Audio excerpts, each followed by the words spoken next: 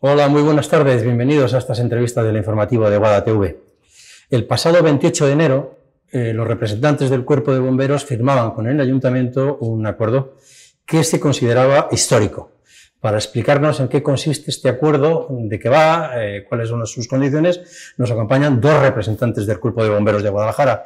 Óscar Benítez, buenas tardes. Buenas tardes. Y José Urrea, buenas tardes. Buenas tardes. Bueno, decíamos que erais vosotros mismos los que decíais que era un acuerdo histórico. ¿Por qué es histórico? ¿En qué consiste este acuerdo? Bueno, es un acuerdo muy importante. Eh, a nivel de Castilla-La Mancha, solamente nosotros y los bomberos del consorcio de Guadalajara tenemos un acuerdo de este tipo. Y es muy importante porque es un reconocimiento a unas eh, exigencias que teníamos que nos, nos califican como grupo C1 y, por fin vamos a conseguir estar adaptados a ese, a ese grupo de calificación dentro del funcionariado. Vamos a tener unas labores nuevas muy importantes para la ciudadanía que se van a desarrollar y sobre todo es un reconocimiento al servicio que prestamos. Es un reconocimiento al trabajo de bomberos y en concreto a nuestro servicio en particular. Para los profanos, ¿eso de C1 qué es? Pues C1, eh, ahora mismo la categoría de acceso y de la que nosotros pertenecemos, que somos C2, eh, a la entrada de, este puesto de trabajo te requieren que tengas la ESO para poder opositar y acceder al cuerpo. Eh, ahora con el cambio este sería el siguiente, la siguiente categoría que sería C1 y el requisito sería ya superior, ya se necesita el bachillerato. Este, esta categoría, eh, para que te hagas una idea, eh, ya llevan años en las grandes ciudades de España con los bomberos en esa categoría de C1, en Madrid, en Alicante, en ciudades bastante importantes, Sevilla. Eh, aquí en Castilla-La Mancha, de momento no éramos C1, éramos C2. Entonces, pues bueno, es un paso adelante para poder equipararnos al resto de compañeros de, nivel nacional. Que era como si estuvierais haciendo unas funciones de un rango superior a lo que eh, se os reconocía laboralmente y profesionalmente. Bueno, realmente lo que pasa es que otros compañeros eh, sí que han conseguido, a través de leyes regionales, que se llaman leyes del fuego, que esa categoría venga reconocida. Entonces, lo que estábamos haciendo es el mismo trabajo, porque al final apagamos los mismos incendios, vamos a los mismos accidentes, pero eh, servicios como los bomberos de Madrid, Barcelona, Bilbao, todos ya estaban dentro del grupo C1 a través de su ley y sin embargo eh, en Castilla-La Mancha no tenemos esa ley, pero hacemos el mismo trabajo. Entonces, para conseguir, sin una ley regional, eh, que se nos recalifique al grupo C1, hay que añadir una serie de funciones para, para que esté justificado jurídicamente. Es un acuerdo que ha estado muy trabajado jurídicamente, para que tenga una base legal potente.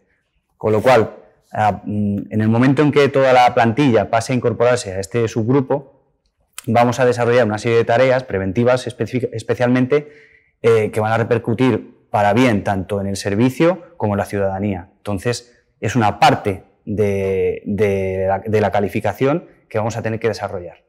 O sea, yo como ciudadano que vive en Guadalajara, ¿en qué notaré esa diferencia?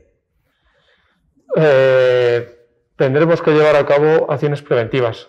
Eh, ¿Qué significa? Eh, para que nos entendáis un poco, pues la supervisión de elementos que necesitemos el día a día, como pueden ser los hidrantes, en el momento que haya algún incendio, eso ahora mismo no se controla. No hay nadie ni nada que verifique que ese hidrante tenga la presión adecuada de agua que nosotros necesitamos para abastecer nuestros camiones.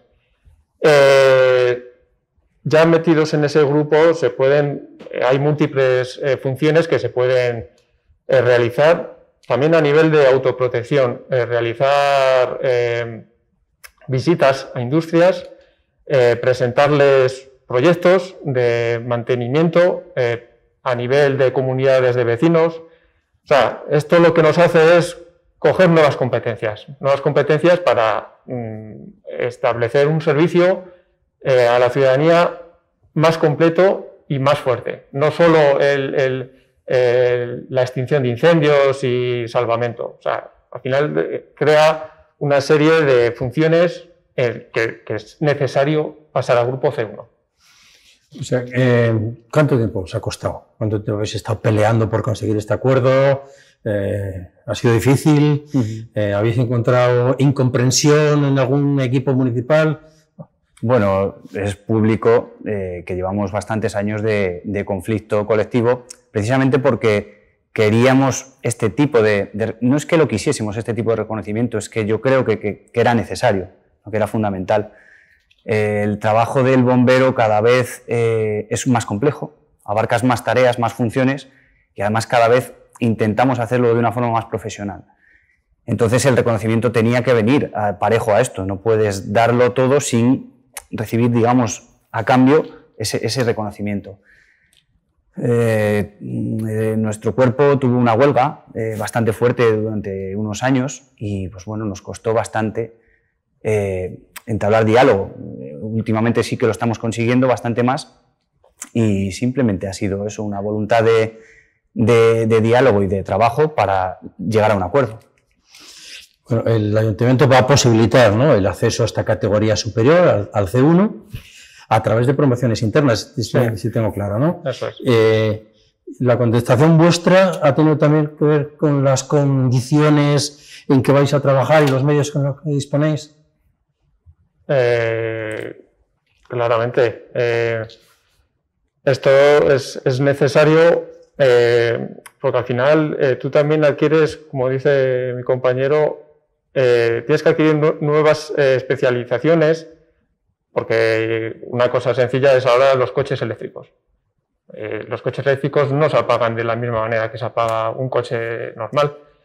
y como eso, muchos más avances que la sociedad pide que los bomberos se vayan reciclando y necesitamos adquirir nuevos conocimientos. Esos nuevos conocimientos pues van a ir ligados de, necesitar el, el, bachillerato, una formación superior para que la persona que acceda eh, tenga esa posibilidad de adquirirlos. Mm. Eh, hablábamos de la categoría, vamos a hablar de los medios de los que disponéis. El propio alcalde en su momento ya dijo que no eran las adecuadas se va a construir un parque nuevo, eh, imprescindible, ¿no? Totalmente, totalmente. Nosotros eh, creo que nuestro parque ya tiene más de 30 años o por ahí. Eh, bueno, ya con la última gran nevada, Ilumena, no sé qué ha pasado, pero que de repente han salido por dentro unas humedades terribles dentro de las paredes interiores.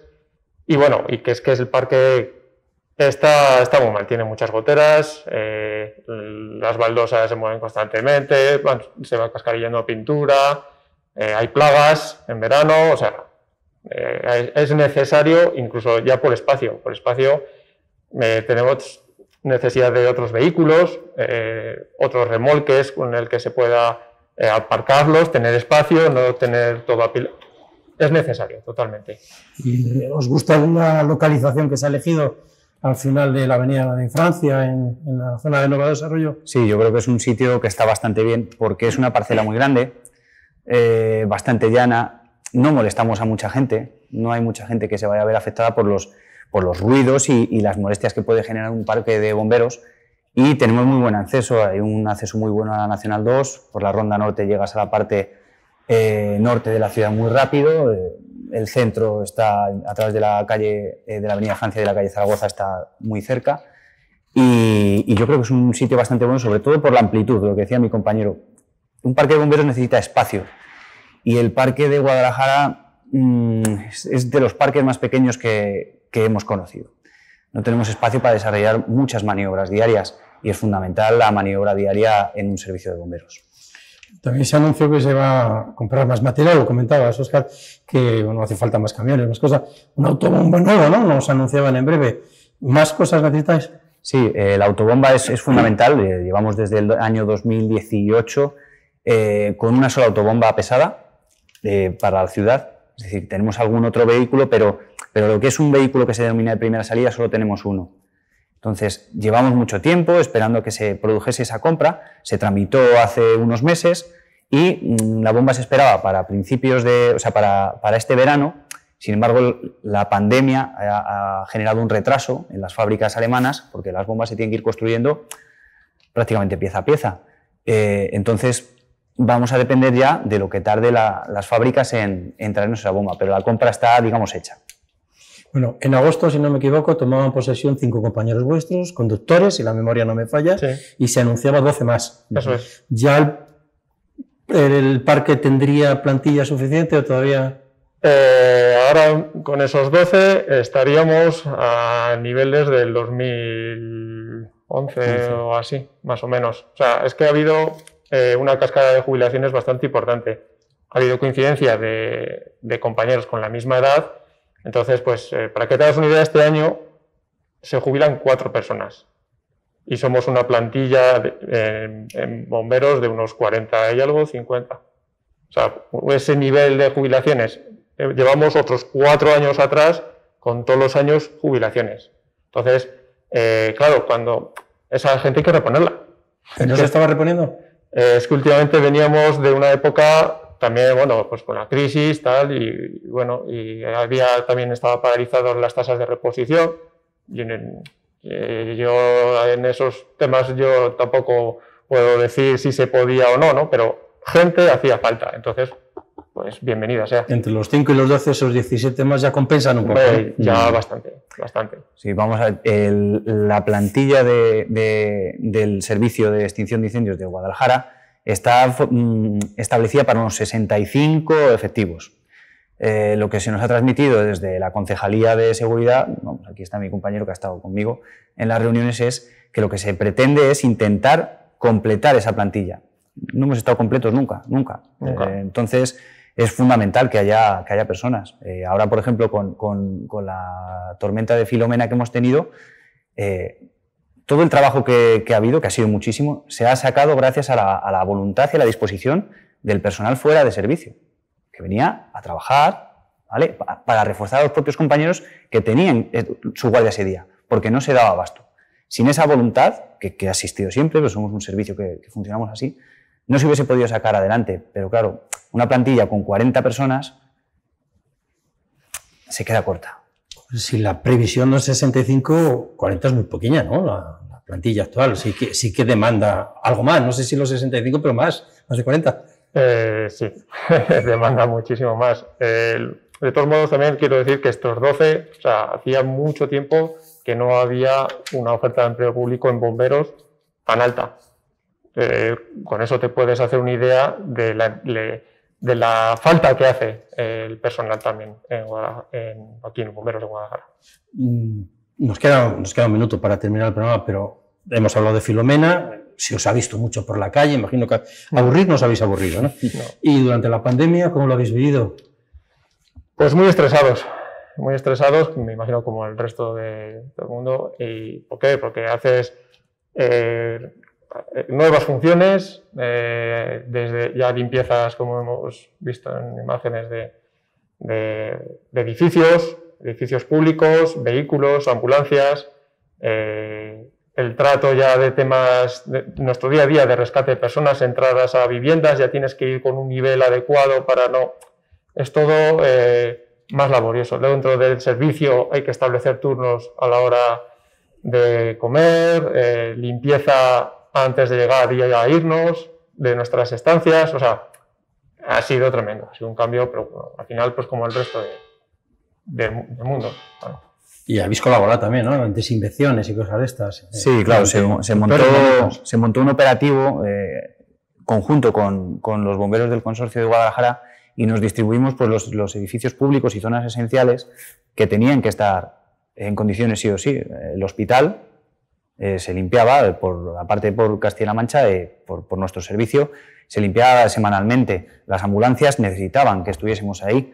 Los, eh, los cuarteles de la Guardia Civil de toda la provincia también se han limpiado, el de la capital también. Y luego, efectivamente, lo que decía Óscar, el trabajo en, en nuestros propios medios ha sido muy importante, porque si, si los bomberos dejaban de prestar su labor, hubiese sido un gran problema para, para la ciudadanía. Bueno, pues sí que nos hemos comido el tiempo, con lo cual tenemos que poner el punto final. Eh, agradezco a los dos que nos hayan acompañado. Voy a desvelar un pequeño secreto. Le felicitamos a, a José Urrea por su inminente ascenso. Nos alegramos mucho por, por ti y enhorabuena. Y animaros a que eh, sigáis eh, en esta misma línea porque es un cuerpo como muy querido, ¿no? Muchas gracias. Muchas gracias. Y a todos ustedes también les agradecemos que nos hayan acompañado y nos vemos el próximo miércoles aquí en Guadatv. Muchas gracias.